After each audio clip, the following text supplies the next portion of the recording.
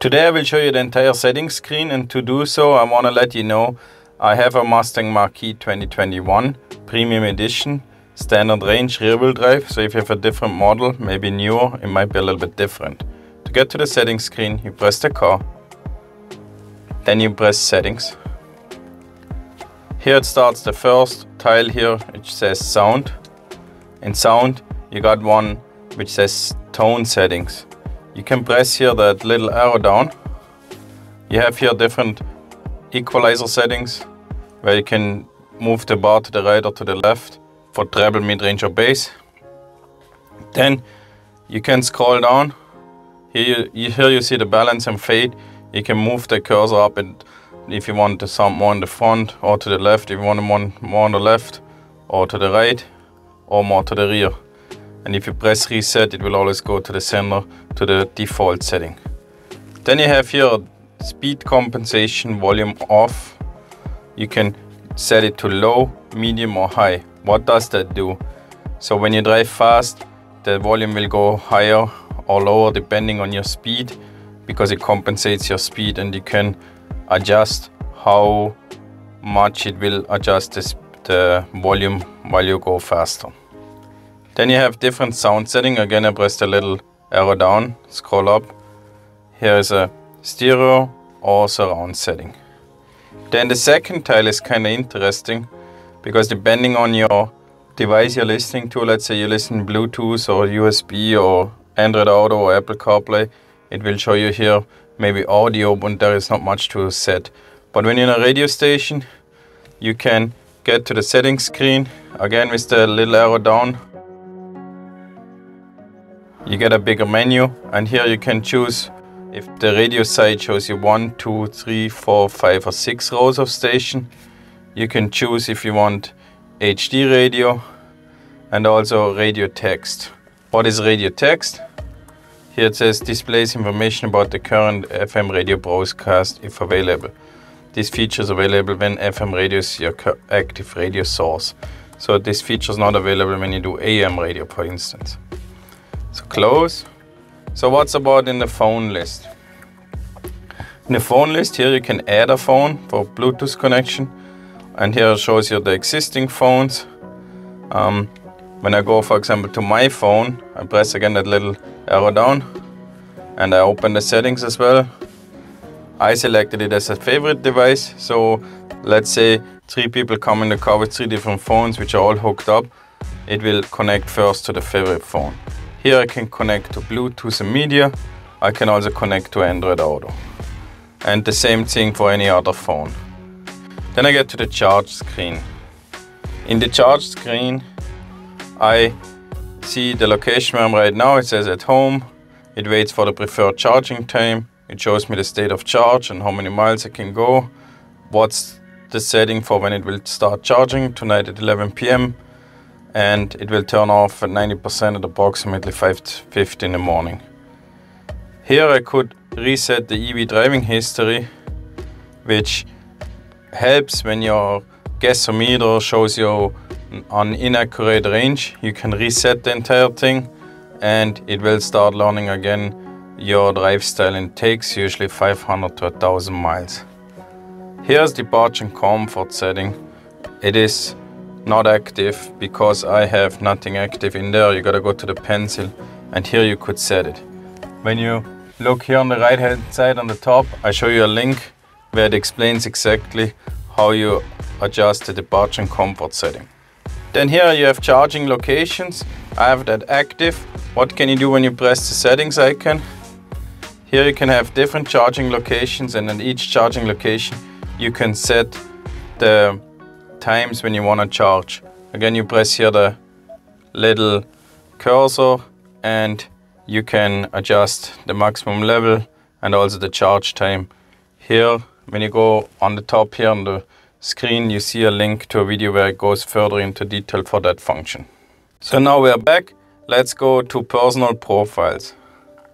Here I have two profiles set up. There's my own profile. I can press on it I can change the name, change the profile picture.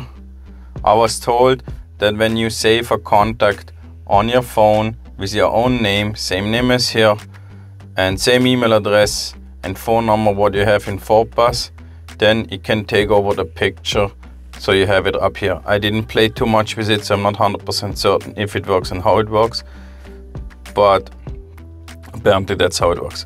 Then here you have an option intelligent suggestion to explain what it is. Here it says that uh, it will provide some tips based on your habit. For example, calls you might want to make or radio station you want you might want to listen to. Then here you could remove the key fob You can add a phone if you haven't had a phone yet. You can choose what memory seat button you have near on your left armrest or you can just delete the profile. Here you can also change to the guest profile. If you ever go accidentally to the guest profile to get back, you know now we're on the guest profile. If you want to get back to your profile, you can um, just press here those icon, hit here the profile and change to your profile. Now I'm back in my profile. Let's go back to the settings screen. And this was all what's here in the personal profile list. You can also add a new profile if let's say your spouse or somebody else in your family or friends use your car and they have their own fob or their own profile, they can add it here. So here's driver assistance. What do I have in driver assistance? Driver assistance, you can activate auto hold. That makes sure that the car stays put on a traffic light and doesn't roll back and forward. Here you can turn on or off traction control. I believe newer build have an actual physical button near the light switch. Here's a cruise control, adaptive cruise control. You have several settings. So here's a normal cruise control or adaptive cruise control. Then you have a lane centering with hands-free, activation prompts. Here to explain what it means. That means if you have that active, it tells you when BlueCruise is available. It will show your screen BlueCruise is available. Activate if you want. Then speed sign recognition makes you that the car actually uses the speed signs as its speed limit in the cruise control. Then you have speed limit assist, which just give you a warning when you are above the speed limit. You can adjust the tolerance. You can say five miles over the speed limit is fine with you, but you can also put it down to zero. And then here the lane keeping system, you can mess with this. You can say you want only an alert or alert and aid, which means the steering wheel starts vibrating. You can adjust the intensity if the lane keeping assist is a little bit too aggressive. You can adjust it to low. If it's not aggressive enough for your needs, you can adjust it higher. Then you have your pre-collision assist. Here you can show a distance indication, automatic emergency braking, evasive steering assist, if any of those functions you don't like, just you just turn them off. And here again, you can adjust the sensitivity. You can do it to high, normal or low.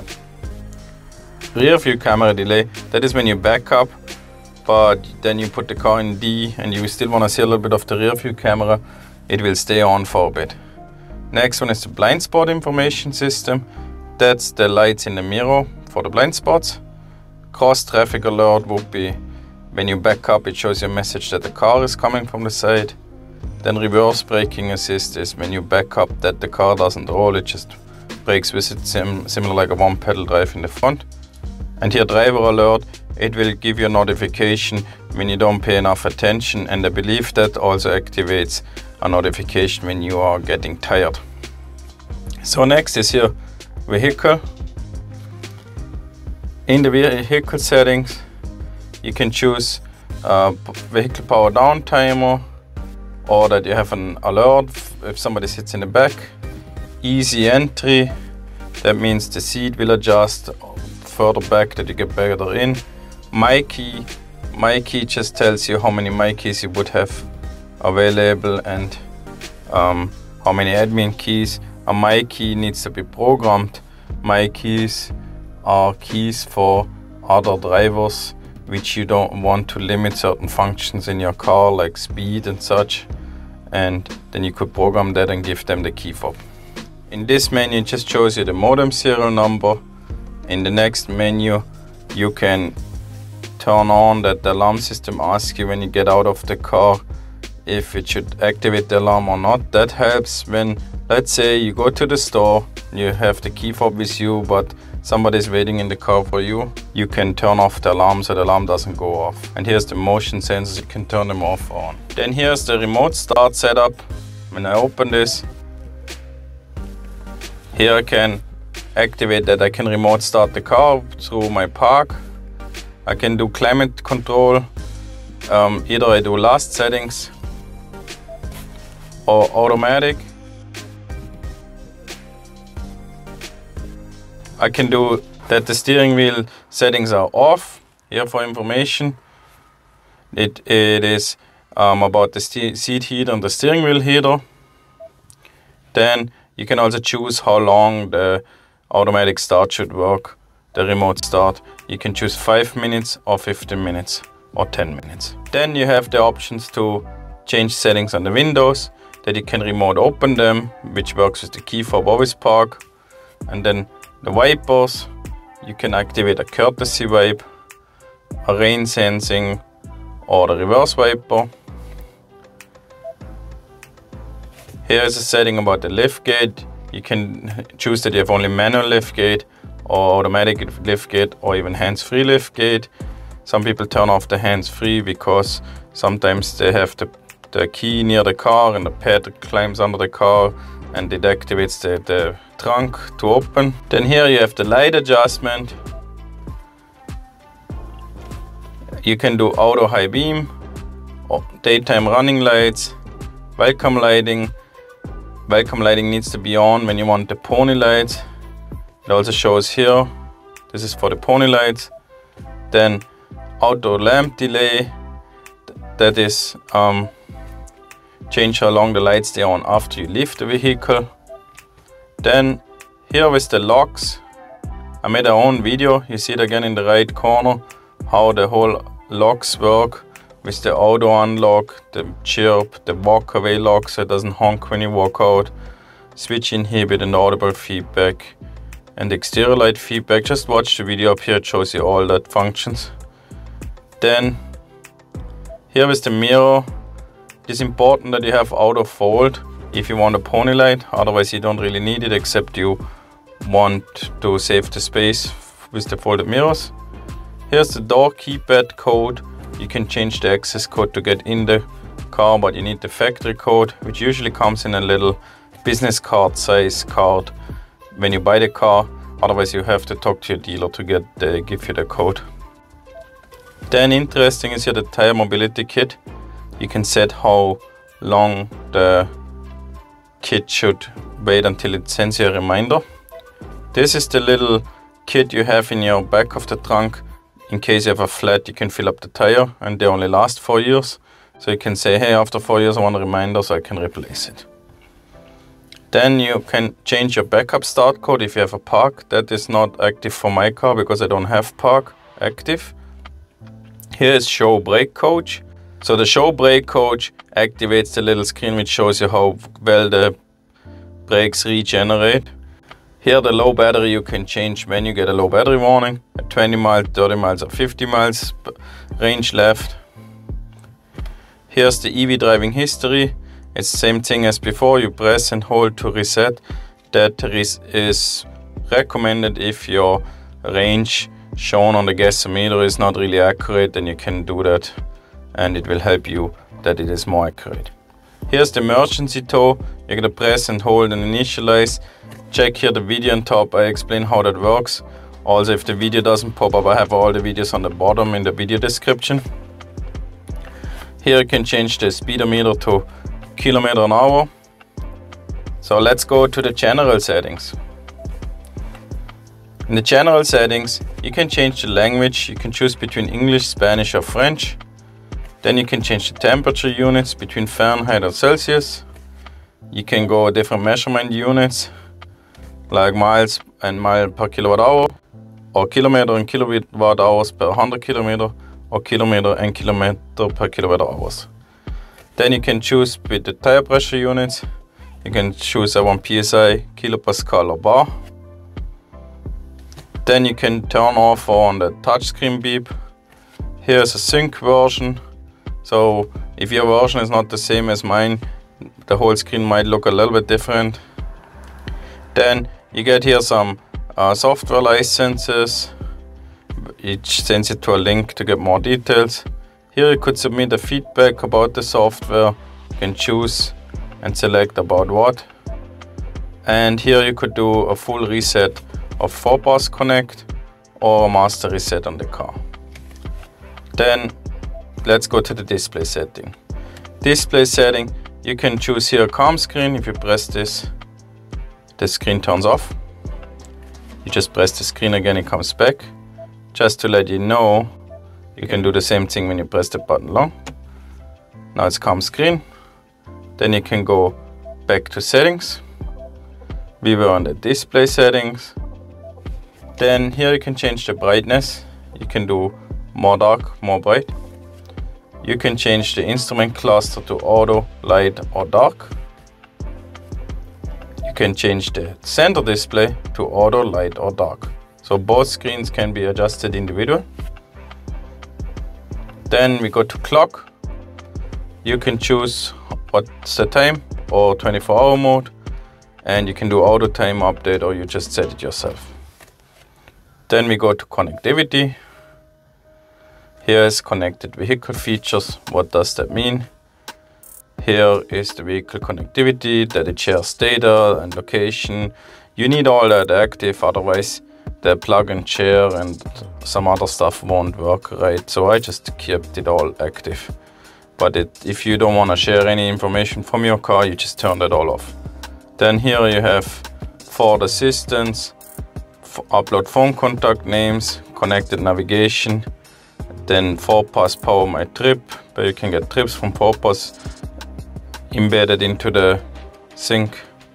Then here you can turn off Sirius. If Sirius is annoying you because you're not using it anymore, turn it off. Then you can go to the Bluetooth settings. Bluetooth is on and you can change the vehicle name if you want to. Wireless app pro projection is some information about the connection to the Apple CarPlay and the Android Auto. Then Wi-Fi networks. Here you can activate Wi-Fi available networks. It shows you all your networks and you just can connect to your network and you can activate that notifications are active. Then we go to the vehicle hotspot. Here you can activate the vehicle hotspot. Probably when the car is new it's active because I believe you get one months free. Some locations maybe it's of certain data which is free. Here you could set it up. Now it's the data usage. You need, only need the hotspot if you want Wi-Fi for yourself or for your passengers in the car. System updates. The updates don't need any Wi-Fi connection. It is okay with the data connection here. I had several updates which happened while I was not in the car, somewhere out of the house, far away from home without Wi-Fi. Then you can schedule updates. You can say what time you want the updates, but you don't need to. It will only, if the car needs to be off while you update, the car will actually tell you that an update is coming and it won't just start and stop you from driving. Then mobile apps. Here's an app list in FordPass which you can link to your car and run the apps from here. Then departure and comfort settings. I made an own video how you can set departure and comfort. Check the video description below. It shows you the link to the departure and comfort setting. Then 911 assist. You might want to have that active if you want to be able to call 911 through the hands-free phone. Ford assistance, it shows you here different voice commands. You just choose if you want to learn what's the voice commands for climate, you just open here and it tells you what options you have. Or with the mobile app, same thing, it shows you what options you have. With all that different, with media, navigation, phone, radio or Sirius. Then you can choose, uh, say you, the voice command can get started with a wake up word. You can even pick your own wake up word. There's four options, which are listed here. I don't want to read them out loud, otherwise it will get activated. Then you can do advanced mode. Advanced mode reduce the number of voice prompts so it won't allow you mispronunciations. Then phone confirmation, I highly recommend that because when you tell your car that it should call a certain person and it accidentally picks a wrong person, it will just dial right away. When you have that active, when you say call Tim, it will actually tell you, do you want to call Tim? And it shows you the number and then you're good to go. Then here's a voice command list that's active, which means when you give a voice command and it isn't sure if it has the right voice command, then it will show you other options for voice commands. So now the last tile here is ambient lighting. Ambient lighting, let you pick a color for your ambient lights. You have ambient lights only in the front of the car. You can choose different colors. You can change the brightness here. And don't forget, if you're in engage mode, you can pick a different color than in whisper mode. And in whisper mode is again a different color than in unbridled mode. So I hope this video helps you to understand all the settings. Don't forget to like my videos and subscribe to my channel and check the video description below. I will put a lot of different links for other videos as well. Hey, you're still here? So why not hit the like button and subscribe to my channel? I would really appreciate it. Thank you.